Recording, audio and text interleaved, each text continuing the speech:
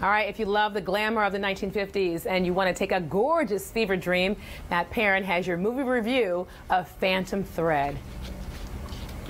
Welcome to a post Super Bowl Monday. I hope that everyone who had to call in sick is recovering nicely. Congrats, Eagles. Well, as always, Super Bowl weekend was an extremely slow weekend at the box office, but Columbia must have listened to me last week because my last unseen Oscar Best Picture nominee arrived in the capital city. So is it worth the nomination? Here's my take on Phantom Thread. Our film begins in 1950s London. Reynolds Woodcock, portrayed by Daniel Day Lewis, is an eccentric dressmaker for everybody who is anybody. From actresses to dames to royal royalty, he makes all their dresses for all their functions, and his reputation is widespread. He's a lifelong bachelor who uses women for inspiration. Then he meets Alma, played by Vicky Krieps. She's a strong-willed woman whom he immediately begins to fancy. After a dinner, he begins to use her as a model, making dresses for her and using her in his fashion shows. As their relationship grows, Reynolds finds his world turning upside down. Reynolds is quirky, to say the least. He has rules that he doesn't like broken, and he feels that he may be cursed in love. As a result, he becomes withdrawn drawn into himself, and although he has unbridled feelings for Alma, he is not about to let them be known. He has to keep himself from being hurt, and in order to do that, he refuses to engage her on any sort of emotional level. Needless to say, this creates a rift with her that, with her strong willed personality, she's determined to try to overcome. As the movie progresses, we see the two constantly butting heads, but at the same time becoming more enamored with each other. So we see our two main characters hit an impasse, with Alma refusing to let herself be pushed away, and Reynolds trying to figure out how to do his work and and keep his reputation while still trying to figure out his own feelings with Alma. Suddenly, the movie takes an interesting turn that it's safe to say no one in the audience will see coming. So, what to say about this one? Going in, I had no idea what to expect except a strong Oscar worthy performance from Daniel Day Lewis. As far as the movie itself goes,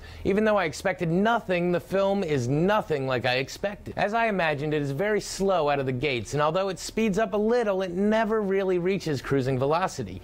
The dialogue is sparse and delivered at a snail's pace. In fact, most of the movie is driven by the classical score that is constantly playing behind it. It's hard to find scenes without this music playing in the background.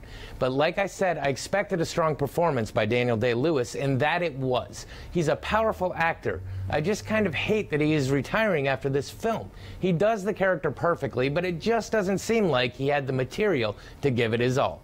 Lesley Manville as the sister is a breath of fresh air in this film. She does an excellent job as a strong female character who, although driving the plot, manages to stay subtly in the background. All in all, the cast is fantastic. The story to me just drags, and the weird twist at the end isn't enough to make me love it.